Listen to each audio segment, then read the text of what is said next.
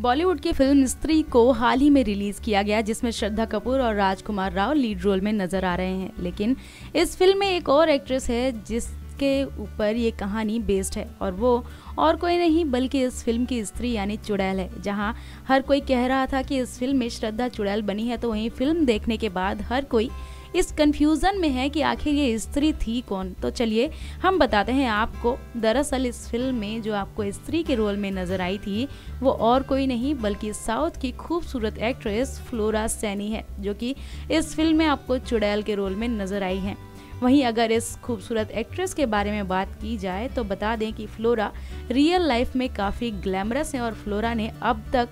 South की लगभग 50 से भी ज़्यादा फ़िल्मों में काम किया है। वहीं फ्लोरा की पॉपुलैरिटी का अंदाज़ा आप इस बात से लगा सकते हैं कि उन्होंने साउथ के कई बड़े एक्टर्स जैसे Rajinikanth, Vikram, Ravi Teja,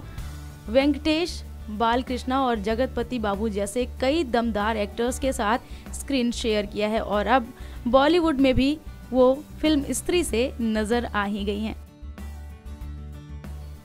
next nine life से चांदनी की रिपोर्ट अगर आप भी बनना चाहते हैं एंकर और रिपोर्टर वीडियो एडिटर कैमरामैन या स्क्रिप्ट राइटर तो हमें संपर्क करें।